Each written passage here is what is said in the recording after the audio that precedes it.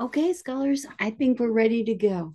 Um, today, I'm going to be making a video for you on um, analyzing the three characteristics of exemplary teaching that Dr. Ladson Billings uh, outlines for us from her research.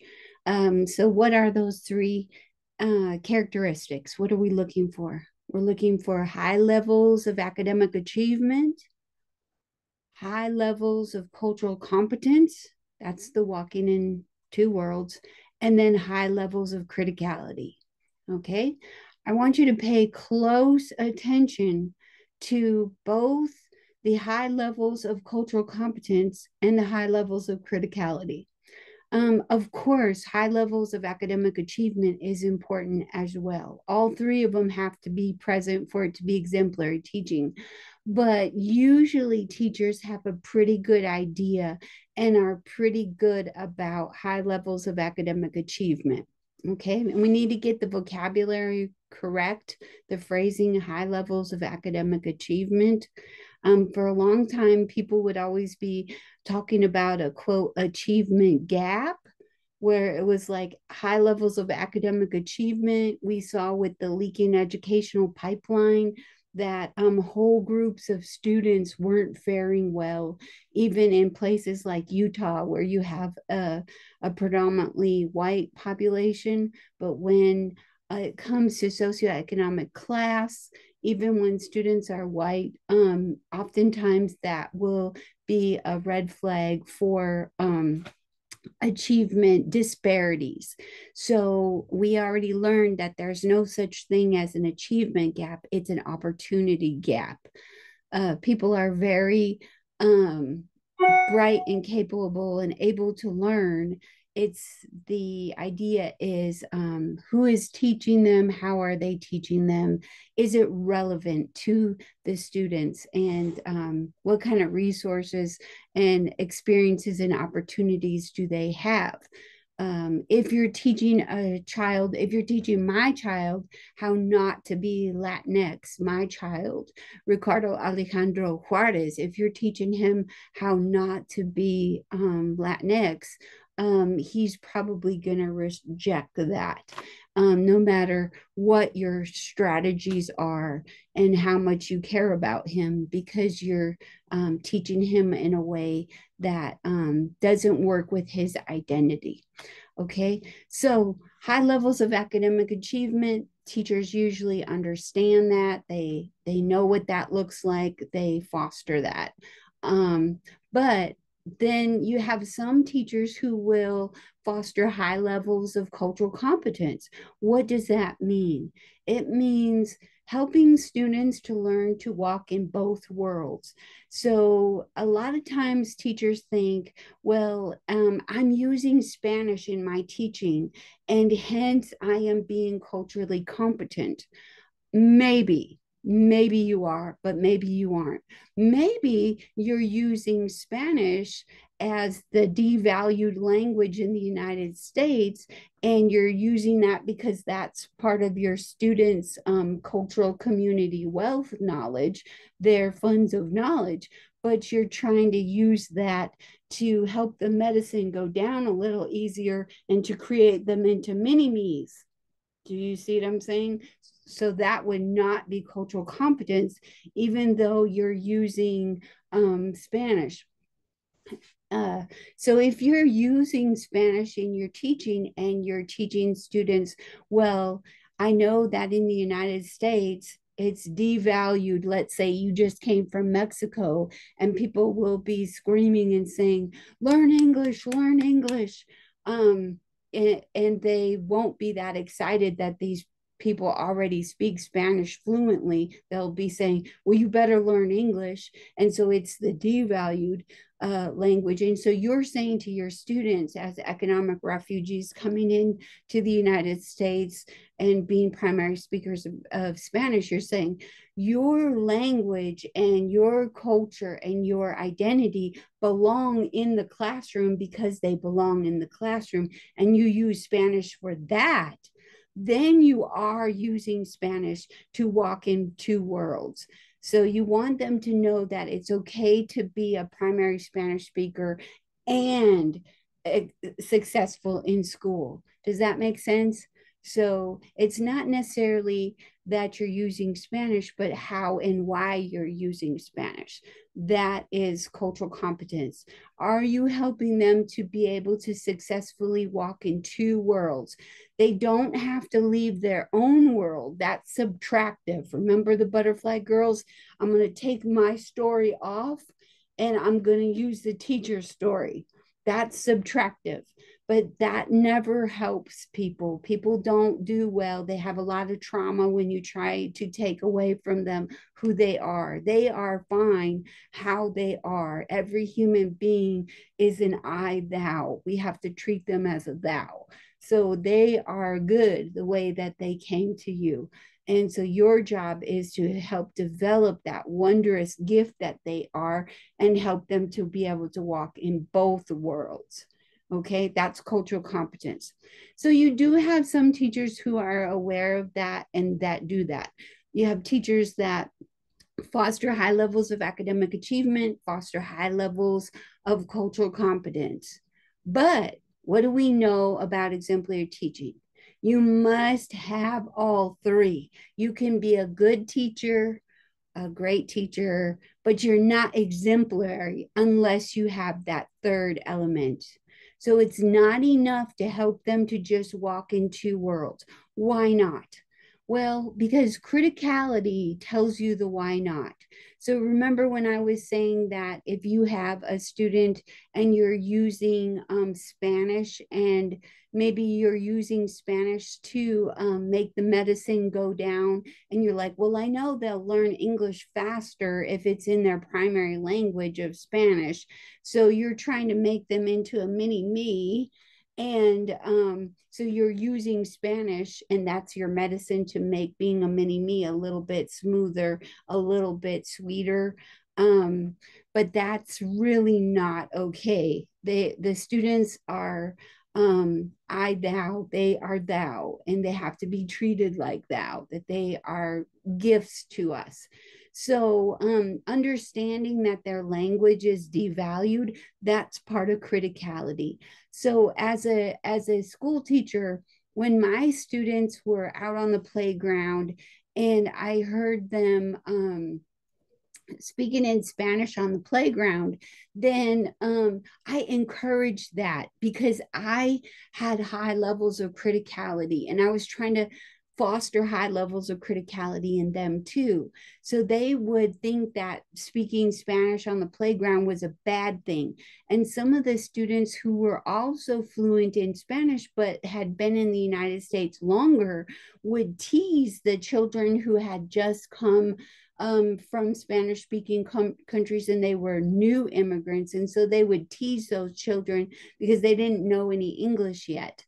And so knowing having criticality myself, I I encourage them to speak Spanish on the playground and in our classroom because Spanish is a valued legitimate language of communication so that I knew that Spanish is devalued and I worked against that devaluing. That was in my practice. Um, I was fostering high levels of criticality, that I wanted them to be able to use Spanish in, in both worlds and English. That was where I was telling them um, you can use Spanish or English, you know, depending on where you are. Um, it you know you have to be able to walk in two worlds. So my understanding of the devaluing of spanish that's criticality. When i'm using it to help them to walk in two worlds that's cultural competence. And i'm using um, spanish to foster high levels of academic achievement because i know that there's a lot of things with higher order thinking skills um, in Spanish, there's words and concepts that we don't have in English that capture it a little bit better. And so, for uh, uh, somebody who's bilingual to be able to move back and forth between English and Spanish, that takes a lot of higher order thinking skills. And so, I'm fostering high levels of academic achievement there. So, that's how I'm doing that. Okay, so those three things high levels of academic achievement, high levels of cultural competence, high levels of criticality. Those are the three. What am I looking for when I'm analyzing Mr. Crenshaw's teaching? I'm looking for high levels of academic achievement. I'm looking for high levels of cultural competence. The walking in two worlds. I want them to know I'm looking for evidence. Does Mr. Crenshaw help the students to walk in their own world and walk in the school world. The school world tends to reflect um, white middle class standards in the United States. So that may not be my students' background, but they have to be able to walk in both worlds. They do have to uh, pass the achievement tests. So they need high levels of academic achievement, but they don't have to do that at the expense of who they are. So they can be Black and successful in school. They can be Asian descent and successful in school. They can be transgender and successful in school. Do you see what I'm saying? So that's the cultural competence, walking in two worlds. Their culture is okay and great and valued and should be in the classroom just because it's a valuable resource. And then for high levels of criticality, that's where we're looking for those inequities. Okay. So I'm gonna I'm gonna share with you a reading that I know you already have read. And um, this is um, okay. This is uh, Dr. Gholdy Muhammad's uh, interview that she did on the um, four layers of the historically responsive literacy framework. And so I know that you've read that. Now, remember, when she's talking about literacy, she means more than about reading and writing. So if I'm computer literate, it means I know how to use the computer as a tool. The tool, the computer isn't using me in the sense that I, I don't know how to make it work, but I'm using it as a tool because I'm computer literate. Okay. I remember with my first master's degree, um, that was uh, during the time when uh, everybody having their personal computer was fairly new. And um, so this was in the late uh, 1990s. It was like 1996, 97. And um, my professor was explaining to us what a desktop is on a computer. So I know that you are, um, most of you, if not all of you, are um, digital natives. So you've been using desktops since you, before you can remember. And so um, uh, that's how uh, Dr. Muhammad is using the term literacy in her uh, historically responsive literacy framework. She's using literacy like I'm saying, I'm computer literate. So she's using it like you're understanding how things fit in history. And she uses that for teaching. So it's not just reading and writing and how to decode words. Okay, so her, what are her four, four layers? Identity, we've been talking a, a lot about that um, with the Asian descent timelines and um, poems and who I am as a woman, my identity. Um, so that's important the butterflies girl, her identity as a girl from the rural area, as a speaker of a language other than English, um, her identity. And um, so I, I like to call my students scholars because that's an identity and it helps me to remember that each of my students is a thou, I, thou. My students are gifts to me and I need to always remember to handle them with the love and care of a thou. And so that's uh, why I do use the term scholar because you are so capable and you know we're using our academic knowledge to really um, analyze and use these things much more than than like say student which tends to be more passive. I see you as independent learners so i use that identity as a scholar for you to remind myself how treasured and valued you are as a thou. And then also because you are so capable and our our task is learning together about being exemplary teachers. Okay and you need skills no doubt about it. You got to have skills. There's just no getting around that you need skills. Um intellect. This is a lot of this like we have to be able to um use knowledge um and the higher order learning learning um, skills uh, uh, bloom's taxonomy skills and intellect those go together. Um, but here's criticality. This is the one where students are often confused. They will think that it's like critical thinking um, where it's a part of like really refined um, uh, thinking about something, I'm going to go a little bit more in depth on it. And yes, that is very true. If I'm critically thinking about something, I'm carefully analyzing it and looking at it, but it's more than that. Um, so what does Muhammad say? Criticality is helping students to read, write, and think in active ways. Okay, so that does sound like critical thinking, but here's the part about it. As opposed to being passive, when you ask a, a question and there's one correct answer, you just take that in as a passive consumer, right? We're, we're used to that as a dependent learner. We're used to that. We're used to saying, to our professors and teachers well how many pages should it be? Um, so we want to know what the hoops are and then we'll jump through them. We don't really think too much about the hoops. Um, so but she's saying it's more than that it's more than just deep thinking and analytical thinking, right? Okay, so that's part of it, but it's not all of it. And here it is. Criticality is deep analytical thinking to be understood, to understand power, equity, anti racism, and other anti oppressions. Okay. So that's the inequities. That's what we're looking for. Um, so it does take that critical thinking as far as I'm going to look carefully at the different perspectives, but it's understanding that those different perspectives are devalued.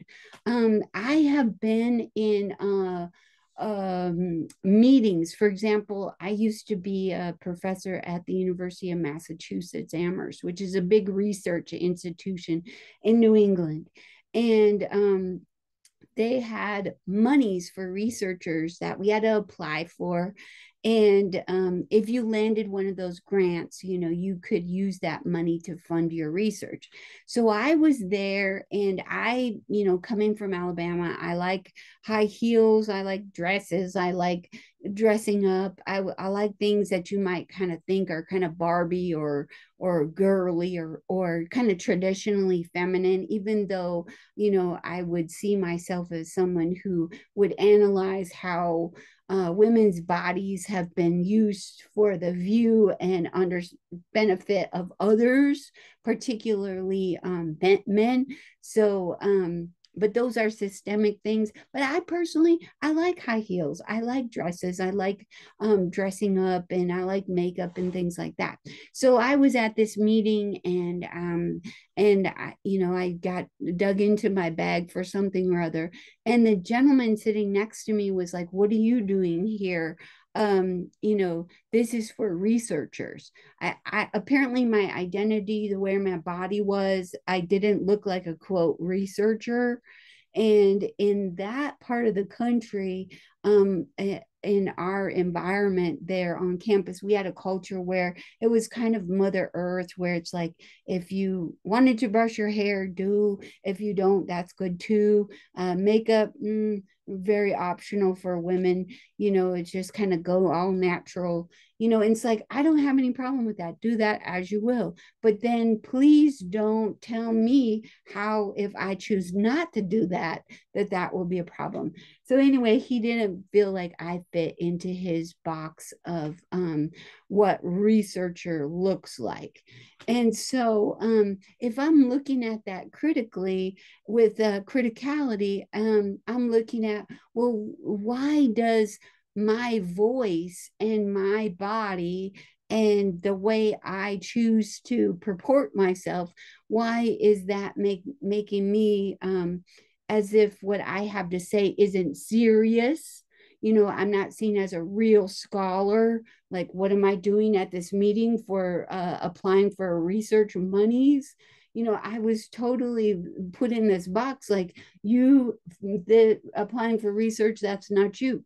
So um, my ability to analyze that was my level of criticality of looking at whose voices are heard, whose are kind of like what they're hearing is wah, wah, wah, you know. So um, whenever you're looking at those kind of inequities, that that is what you're looking at. Okay.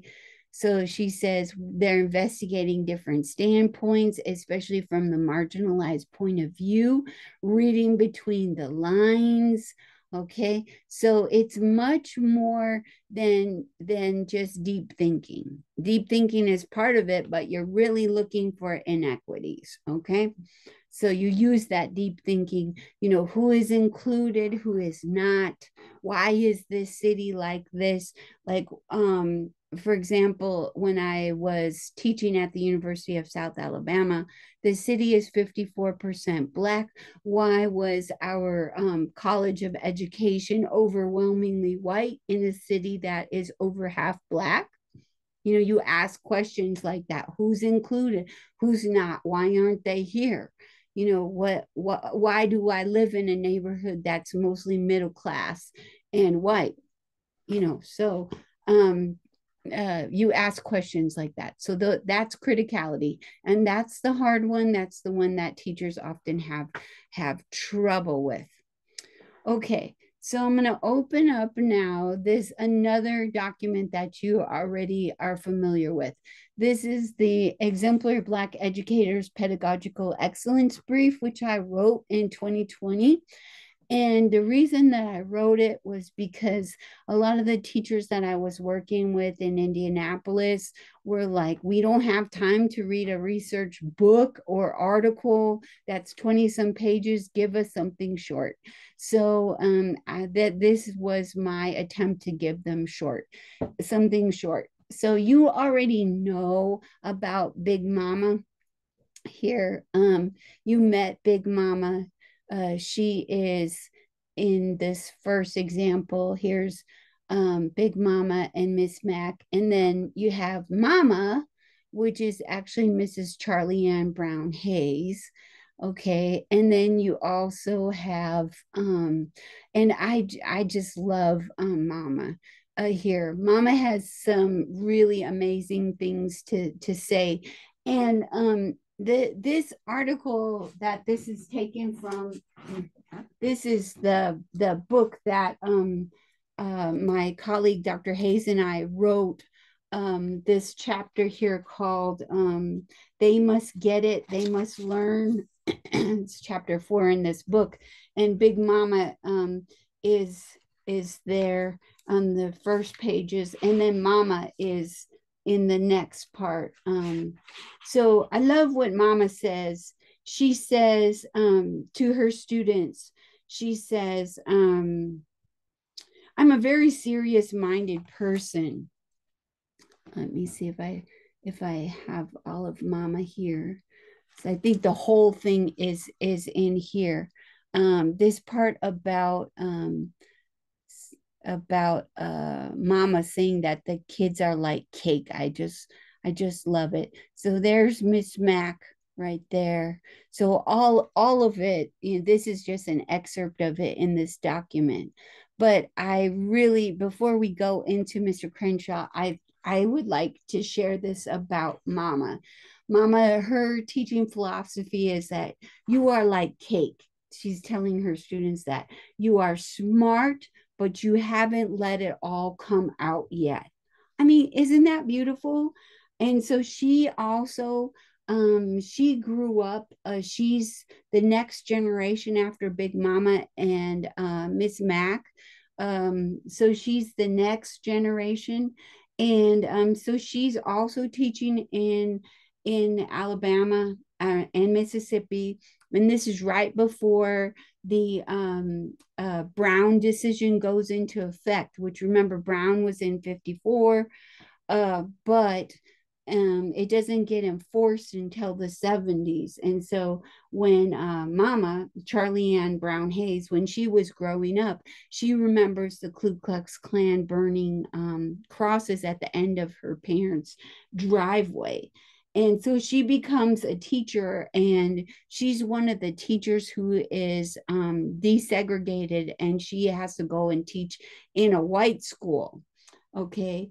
Um, but before before she's integrated or desegregated into another school she's talking to her own students who are black and they are from working class communities and so she says to them, I'm a very serious minded person. I think things ought to be structured. I don't, I didn't learn from jumping up and down. We had some fun. Yes, we had some hands on stuff, but we were very structured. You give the students homework, and it's like they're writing something down in their sleep. A committed teacher will help the students learn the importance of education. Force them to think critically. That's hard to do. That's the hardest thing to do because they don't want to. It's easier not to, right? You just fill out what your teacher says and you just jump through the hoops. You let them do the thinking, you dependent learner. So she's saying it's really important to get them to be independent thinkers. So she, she goes on and she says, I share with my students my situations about my children. So her son, Dr. Hayes, is my colleague. We taught school together in Salt Lake City School District. And um, so she's talking about her three children. And um, I believe two of her three children became school teachers. And um, so she says, uh, I share with them my situation and my children's. I share with them that just because you are in public housing and you're in a crowded situation, that is not an excuse not to learn. Okay, so look at that criticality. Do you see how she understands that public housing is devalued? So she's like, I understand that's very real, that society is telling you if you live in public housing, you must not be fully human. But don't you listen to that.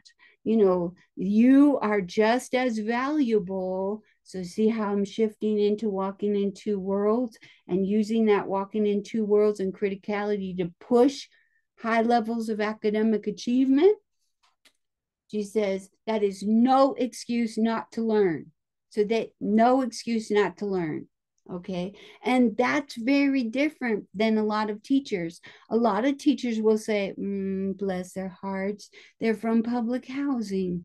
Oh, they won't do it. They can't do it. They're not motivated. And there'll be all kinds of deficit talk about the students, but not exemplary teachers. Exemplary teachers understand that criticality. They know that public housing is devalued. And so they know that people, other teachers in society has low expectations for them. And they're like, well, you can learn to walk in both worlds. Um, being from public housing is no excuse not to learn. And a lot of teachers do use that excuse their kids are in public schooling, public housing, and they use that as a, an excuse not to teach them. So if you don't teach the kids, then how do you expect them to learn? Right. So, not mama, she's like, oh no, public housing, that is no excuse not to learn. And she doesn't use that as an excuse not to teach. In fact, it drives her teaching. That criticality, it drives her teaching. She knows that she's going upstream because society is saying, hey, y'all from the from public housing, you probably will not amount to much. And so she's like, no, no excuse. That is not an excuse not to learn. I give them examples of people in slavery, in spite of the fact that you get your hands cut off, you get your eyes poked out. If they caught you with a book, so she's giving them that historical context of it, right? In spite of it all, they still move forward and they still got an education and they push forward and they educated themselves. So look at how she's teaching them to walk in both worlds. And she's using her understanding of criticality of those inequities to foster high levels of achievement. Learn how to read. All I tell them is that, that that's what they need to do. They need to learn how to read. I let them know that the media is trying to convince them that they're stupid and can't learn. I said that is not the case. Do you see how criticality is playing in here? So she understands that the media is every time she turns on the TV and she's seeing images of kids who are poor and they're all gangster with their pants hanging and all kinds of you know little bad boy and girl things then she's like um the message is you're never going to be anything so she knows that that devaluing of if you're from public housing she's aware of that that the images they're seeing in society and she says no that is not the case they know i am pushing them i tell them education is the key if you don't like what you're in now, get a good education. I constantly talk to the children. I tell them, you're smart, but you haven't let it out. See, that's what a lot of teachers don't do is they will they sometimes they don't say it out loud sometimes they do but mostly they're thinking it maybe not even consciously like these kids are not going to amount to much. Look they're um, migrant children their parents move all the time picking crops they're not going to even be here that long and they have all these deficit views. But this teacher mama she's like no no uh, I understand that. That's that criticality. She understands that devaluing uh, and inequities that the kids are fa- facing. And she says, no, no, education is the way. You know, I talk to them. Education is your key. So you're smart.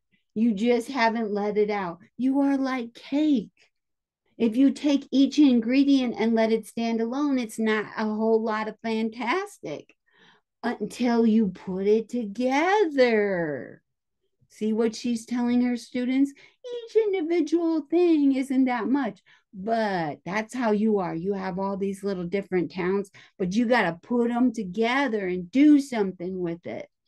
So she tells them they're smart, they're like cake, they have all this potential. Okay, you are like cake. If you take each ingredient separate and let it stand alone, it's not a whole lot, not fantastic until you put it together. I tell them, you've been told by the media that when they show a crime has been committed and they show blacks to make you think you're a criminal and you're dishonest and you can't learn, but that's not true. Do you see the criticality there? She knows that the kids are getting all these images of themselves as negative, as criminal, and you they start internalizing that, and then it's going to be a self-fulfilling prophecy.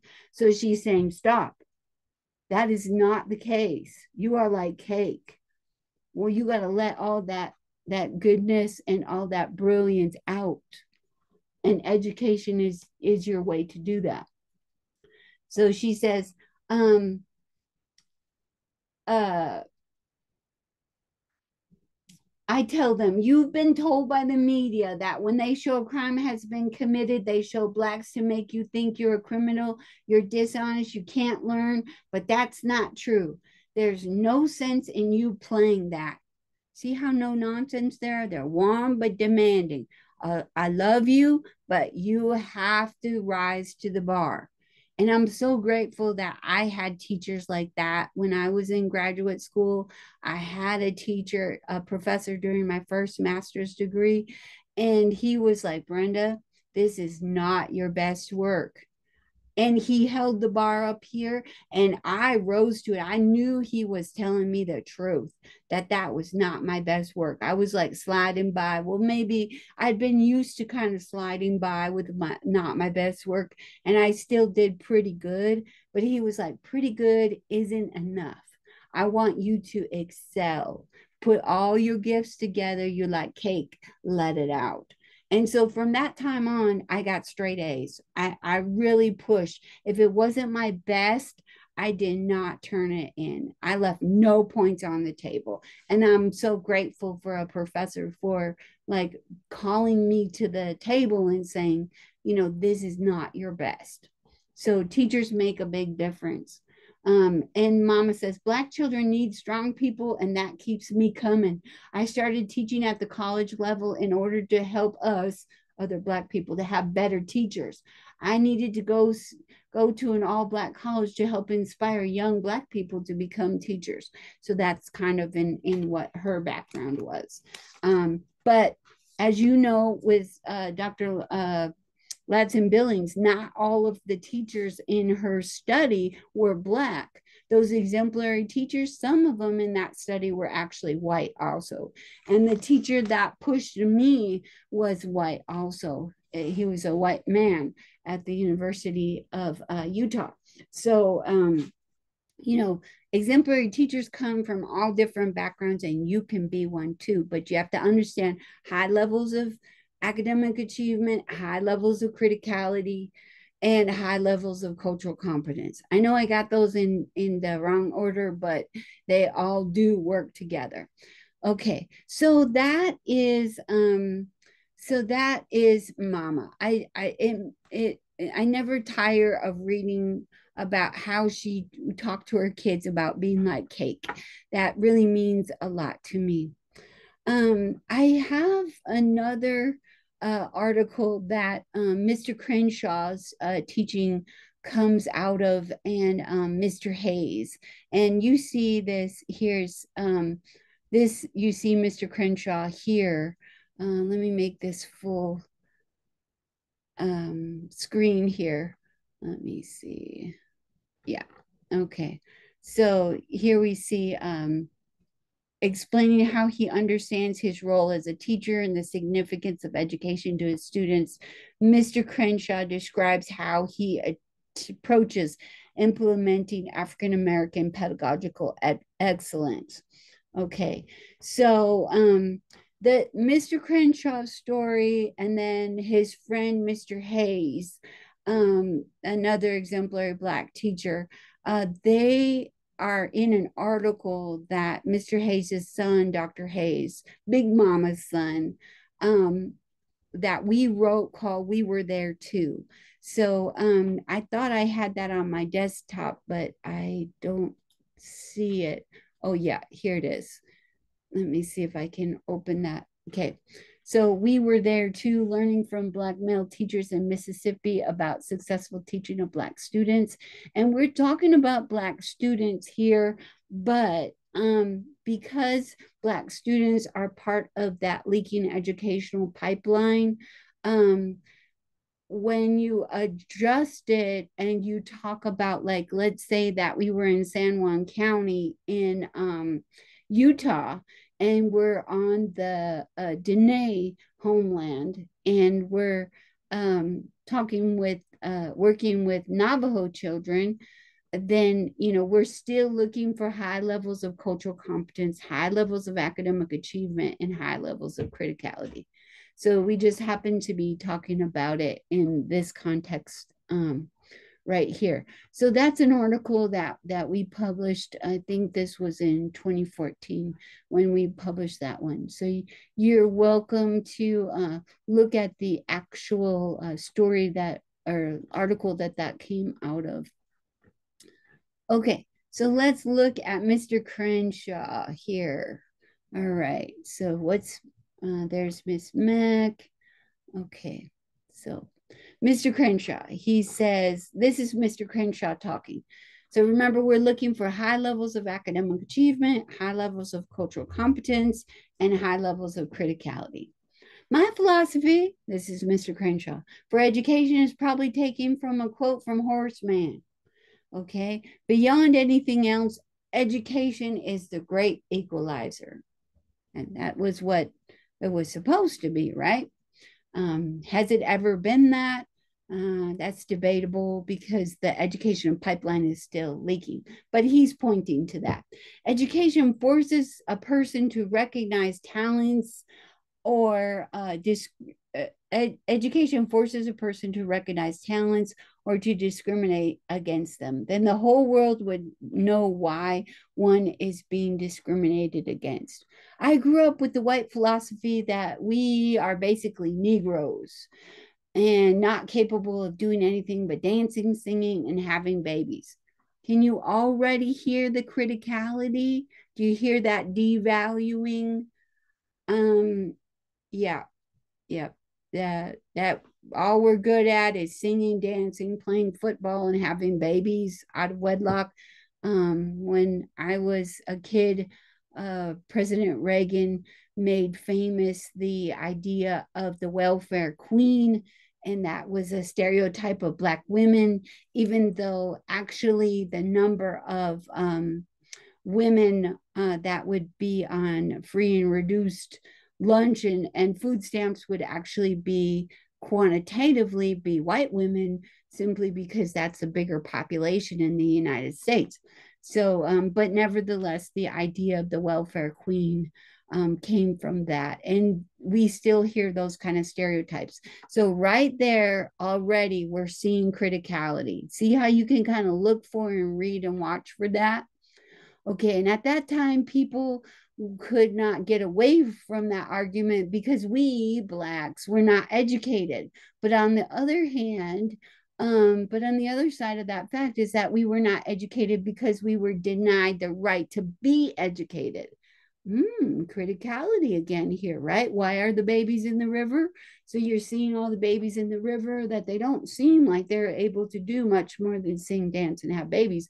But you have to look upriver. Why are the babies in the river? And there you see that um, you know, that it was actually against the law to educate blacks. And then um, when it wasn't against the law and you had desegregated schooling separate but equal did not mean that it was equal. So all the hand-me-downs the uh, different kinds of things it was definitely not an equitable education. So you see the opportunity gap already coming. And we're talking about in the 1970s so that is not that long ago um, people from uh, two generations ago are you know still dealing with that. And then they are raising their children and grandchildren. And you see that the working class kids get working class jobs and it kind of keeps repeating itself. So we're not that far away from that at all. Okay so he goes on and he says i think philosophies wise, I would tell the kids that education can be and has been some, despite some shortcomings, he knows that that there's a leaking educational pipeline. It can be the great equalizer. Um, in my classroom, I do the mentor piece with students. I also really do that work on developing my students' abilities to think critically and be able to look at a situation and make the best informed decision. Now that's looking like we're getting higher order thinking skills, right? So we're like, mm, might mark note that we might have to come back to that. Uh, once I established myself as a premier social studies teacher, my tongue got a bit more loose. The first years of teaching with white students included with black students, I had to be very, very careful so as not to appear prejudiced or bias towards the black students. I had to be sure that I didn't say anything that could be misconstrued. So you had social studies combined with reality, what I call real world stories, where you as teacher can relate to students because you are all in the same boat.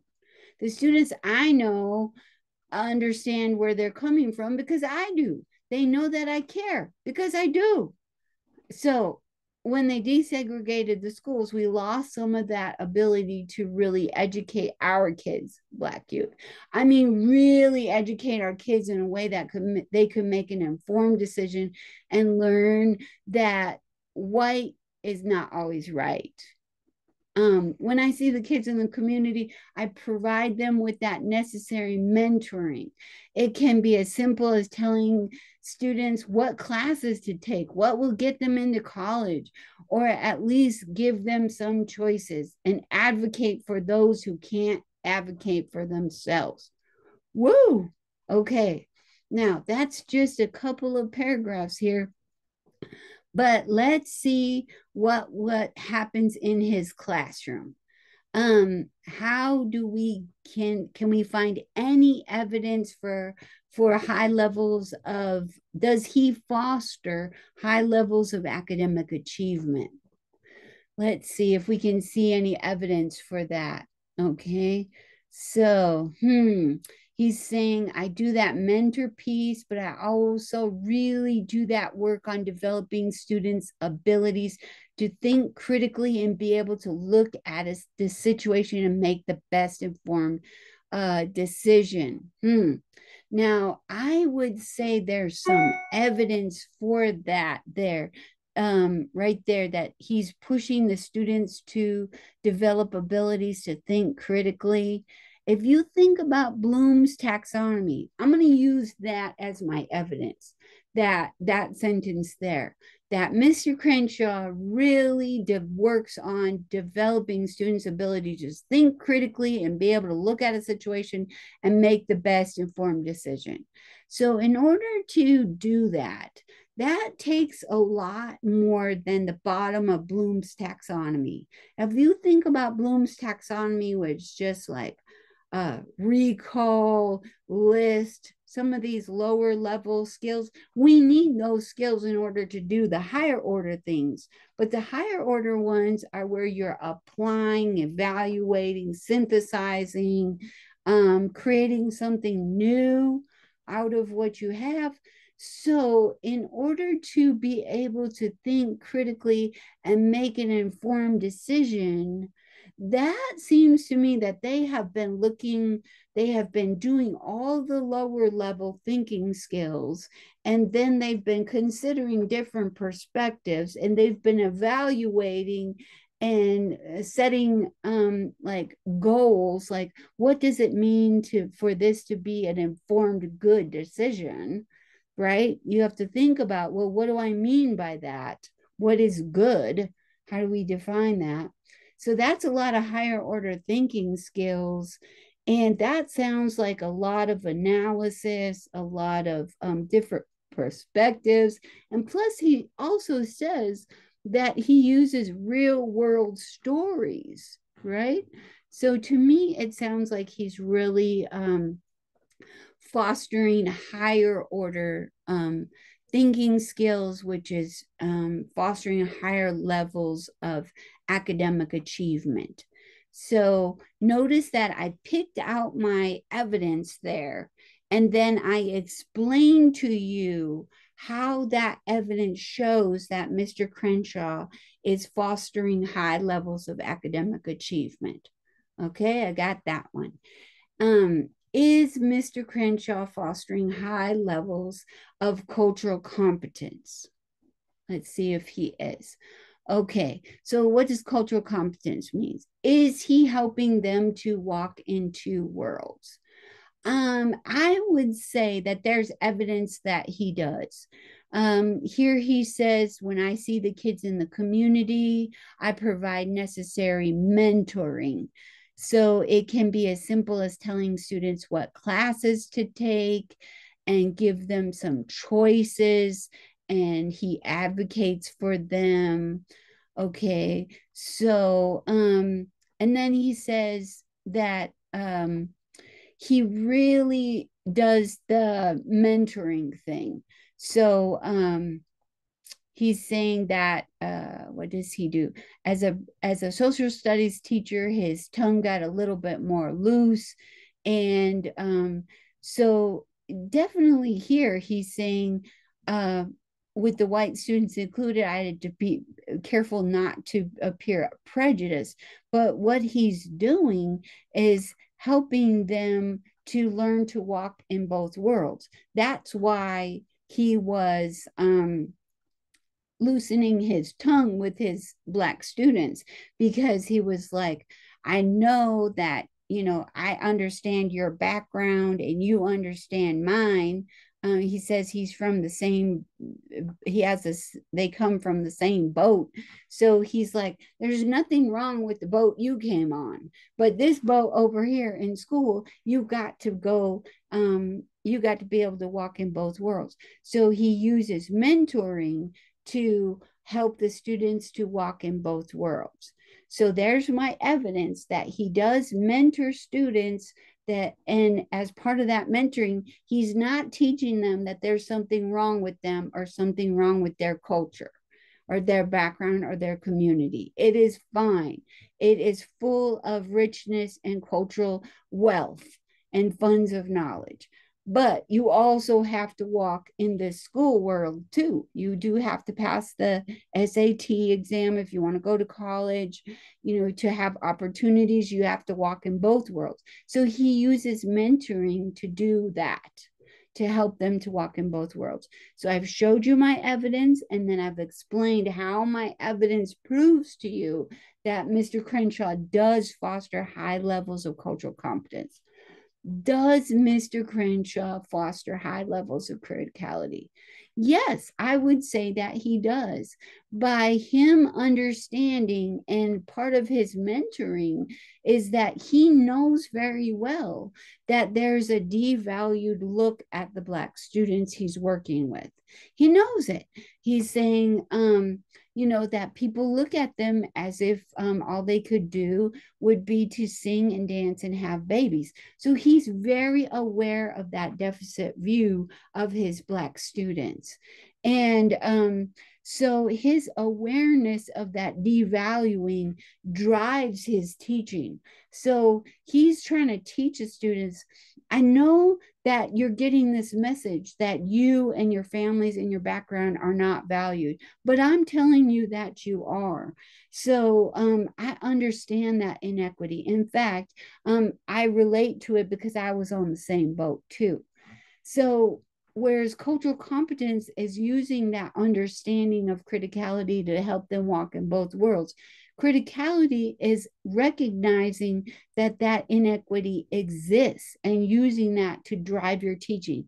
It doesn't give Mr. Crenshaw the reason he needs to not teach these students. So a lot of teachers would be like, well, you know, they're from the hood you know all of them are just all they're going to do they think they're going to play football and um, they probably won't not that many people make it to the nfl um, even if they do make it to college. So um, that's a pipe dream. They're probably not going to make it. And so they don't put much into their teaching because um, they use that as an excuse not to teach. Now, Mr. Crenshaw, on the other hand, he knows very well that they are being devalued. And he uses that to drive his teaching. His teaching is for countering that devaluing of his students. He wants them to know no, I see that uh, inequity, I see it, I know it, and um, education is your way to work around it. And so the inequity and knowledge of that inequity is what drives his teaching. That's the criticality. So I would submit to you that um, Mr. Crenshaw does have high levels of academic achievement, high levels of cultural competence, and high levels of criticality. Okay, what about Mr. Hayes? Um, Mr. Hayes says success is an attitude. Let that attitude remain by itself and or you can build on it by doing something about it and what you want to do. You can have an attitude and you've just got an attitude. Well, now what happens if I take my attitude and I live and I expand? You've got to expand, expand, expand. I ask my students, what do you know? What's on your mind? And they say, I want to be a welder. And I say, What does it take to be a welder? What do you want to deal with? And they say, uh, Go to school. Uh, I say, What's the problem? Everybody wants to be Kobe Bryant, a superstar black athlete. Everybody wants to be Hank Aaron, famous black athlete uh, from Mobile, Alabama. Um, oftentimes, I have to go into the classroom to do damage control. When we see these white female teachers who are afraid of the brothers, black male students, and they look for an excuse to kick the brothers out of class. Now, don't get me wrong, these brothers are hard. A lot of them are coming up from Detroit and Chicago to live with their grandparents in Mississippi and Alabama. I had this one guy who had come down to the south from Detroit and he was hard and he was angry and he was in this teacher's classroom and the two of them had gotten into it over something. And this guy was not even my student, but I happened to be in the hallway when she kicked him out of class. Now, if he got sent to the office, he was going to be suspended and kicked out of school, which have made him even angrier you know that's a self-fulfilling prophecy. It's expected for this brother to get kicked out of school. So i grabbed him and i said let's go for a walk. Let's grab a coca-cola and talk.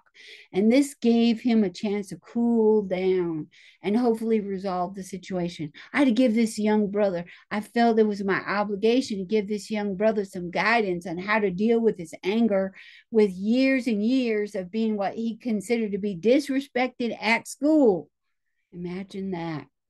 Uh, yes, teaching students history is important, but something I learned from my own teachers uh, that mentorship is just as important. Students were where they are and moving them to the next level. I think that many teachers today have lost task, sight of that, and they are too worried about test scores and they don't worry enough about the souls of the kids. Okay, let's see. Can we find evidence of high levels of academic achievement, high levels of cultural competence, high levels of criticality? Okay, so um, where can we find it? Hmm he's saying he has a lot of conversations with the students it sounds like. Um, in both cases with mr crenshaw and mr hayes both of them have a lot of care for their students and they demonstrate it maybe different than i do as a white woman I have this kind of like I always want to hug everybody, and um, you can't do that in in uh, public institutions. You know, some people don't appreciate that; they want you to stay outside of their boundary of personal space. Um, but that it looks a little different for me than it does for Mr. Crenshaw and Mr. Hayes. So, but they definitely both show that they they care, right? They're warm and they're demanding. And so I would say that my evidence that he has high levels of academic achievement is when he's saying that they have to expand, that they can have this attitude, but they have to expand. Well, we know that learning requires to expand and move out of your um, your comfort zone. Learning requires movement. You have to be uncomfortable. You have to get out of what you know. You have to venture into the unknown. And uh, maybe you become a novice at something and you're not used to being a novice. And so learning is about that expanding. So there's some some effort I would say learning is fundamentally about expanding. And he he says that a lot. You've got to expand, expand, expand. And then he talks to them about um, uh, what do you want to know? What's on your mind? And so look at how he starts with the learner, not the lesson plan. He uses what they're thinking and their questions to guide his academic achievement, right? So his lesson plan is all about this expansion. It's about um, what the students are interested in, what they what's on their mind, and he doesn't discount anything. What what would it take? You want to be a welder? He doesn't discount that. They talk about that. Well, what does it take to to be a welder? What do you need to do? What do you need to deal with? Okay. And so so he's like um fostering these high levels of academic achievement by helping them to see themselves as successful in learning as learners. And so I would say that this point about expanding and these conversations, that sounds like a lot of higher order thinking skills. I can imagine that they're having to learn the um, lower levels of Bloom's taxonomy um, in order to do the higher level things. Like, think about being a welder, right? You have to know all kinds of things about physical science, about chemistry, about architecture. Um, uh, you know, just mechanics. Um, there's just a ton of of physical science there. Um, so I would say that he does foster high levels of academic achievement. Does he foster high levels of cultural competence? Yes, I, I would say that he does. Um, like Mr. Crenshaw, he talks specifically about being a mentor. And if you're a mentor, you don't want people to just walk in the new world. You want them to be able to walk in both worlds. So he knows that the students are coming from different areas, from different backgrounds. And he even says it right here. We have these white female teachers. And the problem is not that they're white and that they're women. The problem is that the white female teachers tend to have different life experiences and cultural backgrounds than do the black students. And so there's this mismatch between them and it's causing conflict and particularly with these young men who are feeling very disrespected. So, in order to walk in both worlds, I would say that simply by um, helping students to be able to think about well how can i control my how can i um, manage my anger you know um, they they probably are being disrespected at school. But uh, uh, you know, at the same time, as Mr. Hayes said, he would be suspended and then kicked out of school, and that's going to make the problem worse, right? So, how to help them to be able to walk in both worlds. The that is what Mr. Hayes is doing. So I would say that his um, mentoring and the what what he calls doing damage control is he's trying to stop that leaking educational pipeline where all these kids are from school to prison pipeline. He's like, I'm going to stand in the way of this school to prison pipeline. And with this particular example of this young man from Detroit, he like literally pulls him away from the spout of the uh, leaking educational pipeline that he was just about to get sucked into the school to prison pipeline and he's like let's go for a walk. Let's talk. So i would say that that his example of how he mentors and talks with them and does quote damage control he is teaching them how to walk in both worlds. There's nothing wrong with you but you do have to walk in this other world too okay? So he's a history teacher. So wow lots of things from um, the past to be able to um, make sense of and understand and learn from in the present with that. So I would suggest to you that there's lots of evidence here. Particularly, he gives us his mentoring and damage control.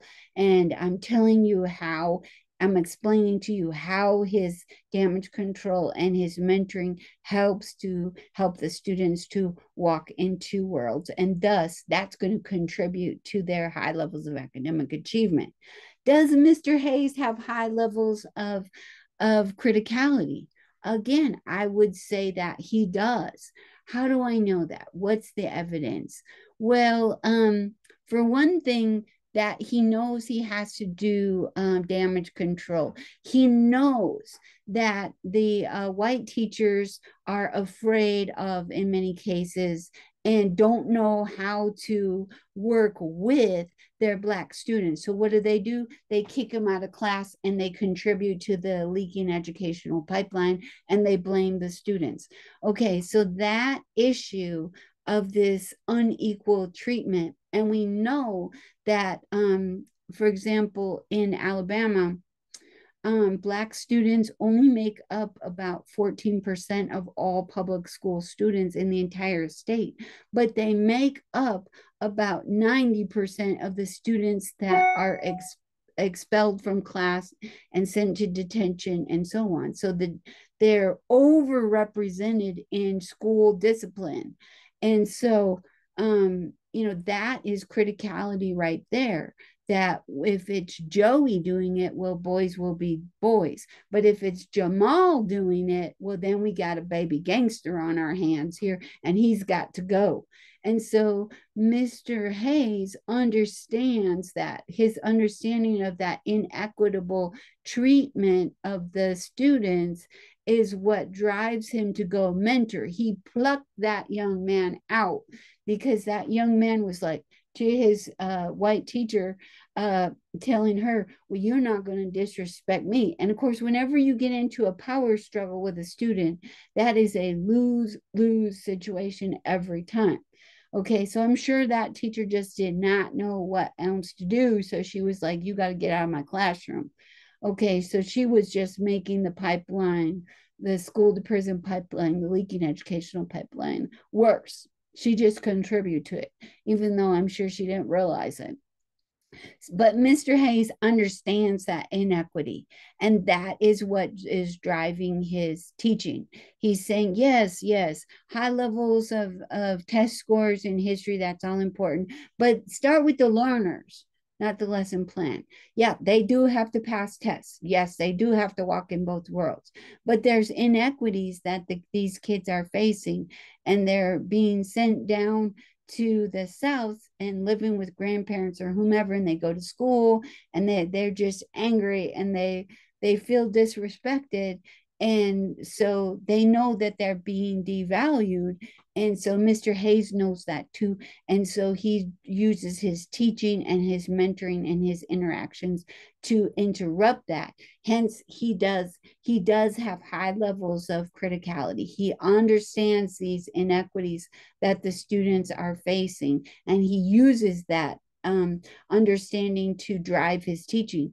So instead of kicking somebody out of the classroom, he actually snatches them for a walk and to cool down and help them learn how to productively handle that. What could they say the next time when the teacher um, of their homeroom classroom or whatever it is that he just got kicked out of um, when he's feeling disrespected how could he handle that so that he isn't being kicked out of class? Because who pays the price? Not the teacher. The teacher already has her degrees.